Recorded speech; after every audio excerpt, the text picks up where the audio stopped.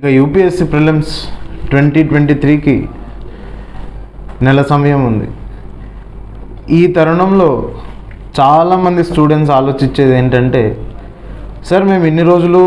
Static చదివాం ఇన్ని రోజులు న్యూస్ పేపర్ చదువుతూ వచ్చాం ఇన్ని రోజులు కరెంట్ అఫైర్స్ చదివాం వివిధ మ్యాగజైన్స్ నుంచి కరెంట్ అఫైర్స్ చదివాం కానీ లాస్ట్ వన్ మంత్లో వాటిని రివైజ్ చేయొచ్చా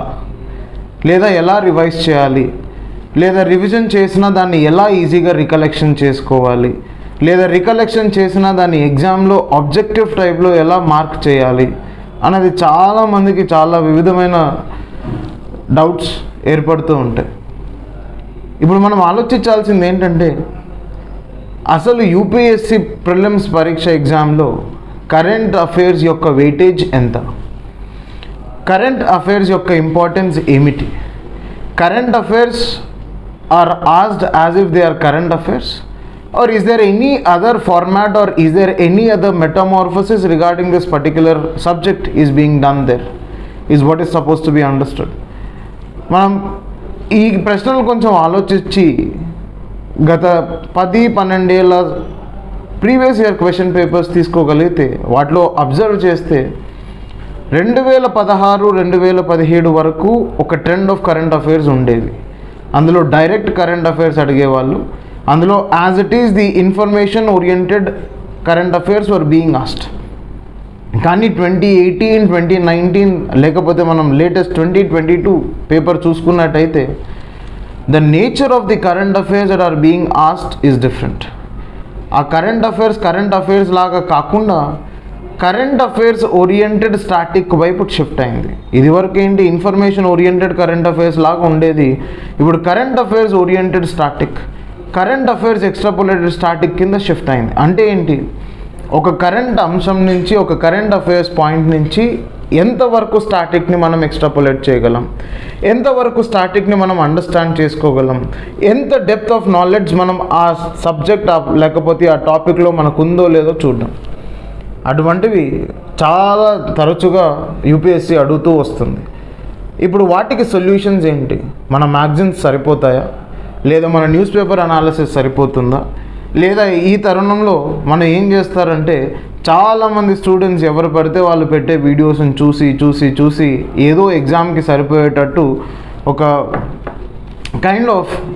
కాంప్లసెన్సీ సెట్ అవుతుంది వీటన్నిటికీ మనం ఆలోచించాల్సింది ఏంటంటే the real solution for current affairs is understanding the static behind current affairs ఇప్పుడు మనం అన్ని కరెంట్ అఫైర్స్ చదవాలనా అంటే అక్కర్లేదు because what happens is when you look at the nature of the questions that are raised in UPSC ఆ factual basis అన్నది లేదు తీసేశారు ఆ factual based current affairs are being taken away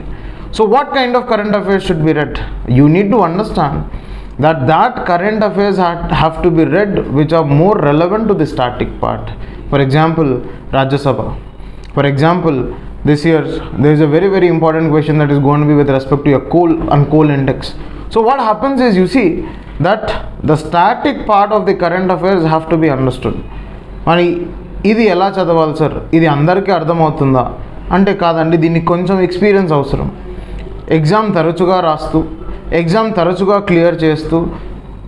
ఈ certain levels of experience is needed to what kind of static has to be focused upon అంటే ఏంటంటే ఈ current affairs related static కూడా వాళ్ళు ఒక లెవెల్లో అడుగుతున్నారు there are different levels there is a primary level that means which is very very close to current affairs there is a secondary level of questioning there is a tertiary level of questioning that means and you see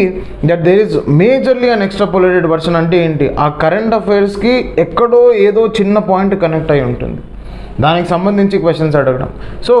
you will have to sectionalize and you will have to categorize whatever information you're reading in these basis దీన్ని sir మేము ఎలా చేయాలి దాన్ని మీకు easy చేయడానికి RC Reddy IAS study circle at Hyderabad is going to start a programme which is of twenty five hours And in this 25 hours, it is going to be completely current affairs extrapolated static part. Ante enti, ee primary level, ee secondary level, ee tertiary level and the extrapolated aspects of current affairs vis-a-vis static is going to be discussed in a very, very rapid revision for 25 hours. The program will be starting from May 15th onwards, and the registrations are open and the corresponding link is given in the description. Thank you.